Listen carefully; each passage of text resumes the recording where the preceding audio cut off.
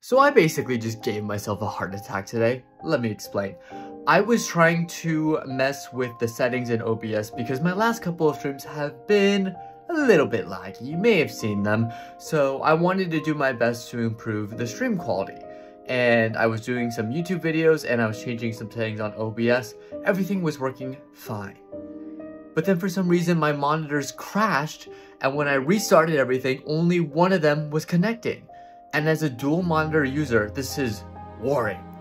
So I was panicking, unplugging, replugging all these cables, switching out cables, still not working. There was only one monitor at a time that was loading.